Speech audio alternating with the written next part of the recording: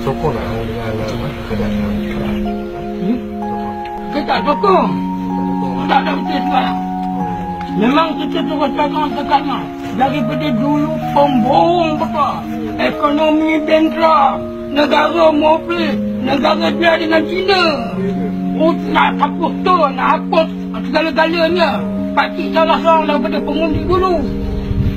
Apa dia orang berganti sampai sekarang pun tak ada. Minyak apa pun tak turun. Apa semua ni.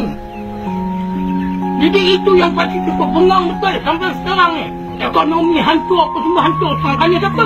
Kerana pakatan hancur. Bukan kerana dulu punya hancur. Jadi dia terbalik dan mengatakan, oh keadaan dulu hancur. Sekarang kita boleh tengok siapa yang menghancurkan. Dulu projek mega semua boleh buat. Tapi sekarang mana projek mega? Itu mendatangkan empat, mendatangkan peluang pekerjaan, penganggur-penganggur. Kemudian dah lah begitu buang pula sampai 40 ribu pekerja-pekerja.